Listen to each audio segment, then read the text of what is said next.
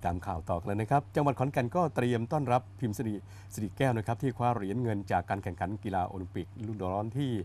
ครั้งที่ 31 นะครับรีโอเกมส์2016 ที่ประเทศบราซิลในวันเสาร์พรุ่งนี้นะครับ ค่ะ ที่สารกลางจังหวัดขอนแก่นนะคะก็ได้มีการประชุมเตรียมความพร้อมในการต้อนรับนางสาวพิมพ์สิริสิริแก้ว หรือน้องแต้วที่คว้าเหรียญเงินจากการแข่งขันยกน้ำหนัก รุ่นน้ำหนัก 58 กิโลกรัมหญิง กีฬาโอลิมปิกฤดูร้อน 2016 ครั้งที่ 31ริโอเกมที่ประเทศบราซิล โดยขณะนี้ได้เดินทางกลับมาถึงเมืองไทยแล้ว ซึ่งทางจังหวัดขอนแก่นได้เตรียมพิธีต้อนรับอย่างยิ่งใหญ่ค่ะ โดยนายศิวาโรธมุ่งหมายผลครับรองผู้ว่าราชการจังหวัดขอนแก่นนะครับท่านก็บอกว่าพิธีต้อนรับน้องแต้วเนี่ยก็จะจัดขึ้นในวันเสาร์ที่ 20 สิงหาคม คือวันพรุ่งนี้นั่นเองนะครับโดยน้องแต้วเนี่ยจะเดินทางมาถึงท่าอากาศยานขอนแก่น ในเวลา8นาฬิกา10อ่า40 นาทีนะครับจากนั้นก็จะเดินทางไปที่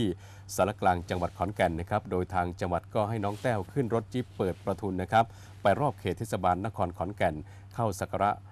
พระบรมราชานุริกธาตุนะครับ ภายในวัดหนองแวงพระอารามหลวงอำเภอเมืองจังหวัดขอนแก่น จากนั้นก็จะขึ้นรถไปที่ศาลหลักเมืองขอนแก่นก่อนที่ท่านกำธรถาวรสถิตผู้ว่าราชการจังหวัดขอนแก่นพร้อมด้วย หน่วยงานภาครัฐ และภาคประชาชนจะให้การต้อนรับ พร้อมกับมอบสิ่งของต่างๆ เพื่อเป็นกำลังใจหลังจากที่ได้สร้างชื่อเสียงให้กับชาวขอนแก่นและประเทศไทยครับ พิมพ์สิริสิริแก้วหรือน้องแต้วนะคะ อายุ 26 ปีค่ะ คว้าเหรียญจากการแข่งขันกีฬาโอลิมปิกฤดูร้อนครั้งที่ 31 ริโอเกม 2016 ที่ประเทศบราซิลนะคะ โดยเป็นเหรียญเงินเหรียญที่ 2 ของเธอแล้วนะคะ ติดต่อกันมา 2 ครั้ง จากการร่วมแข่งขันกีฬาโอลิมปิก โดยเมื่อ 4 ปีที่ผ่านมาที่ลอนดอนเกม